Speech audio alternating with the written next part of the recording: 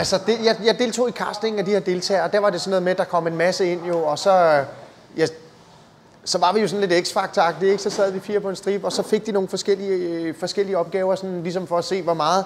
Altså, der sker også bare nogle ting, når der er et kamera på, ikke? Går folk sådan lidt, eller gemmer de sig lidt væk, eller hvordan er det så, så det var meget sådan nogle forskellige ting, at de skulle løse nogle opgaver. Så satte vi nogle gange fire ind sammen, for at se, hvordan de passede sammen.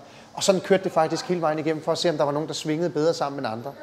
Så det var, det var sgu også ret sjovt at se. Det, det var der altså også nogle sjove oplevelser igennem. Og der skulle folk også ind og synge en sang. Og det der med at bare blive bedt om, syng lige en sang foran kamera for os fire mennesker, der sidder og kigger på dig. Det var sgu også lidt sjovt indimellem, men, men der var rigtig, rigtig mange, der bare valgte at fyre den af. Og det er jo også det, man helst skal kunne, når man skal over lave så meget fjernsyn og være så meget på.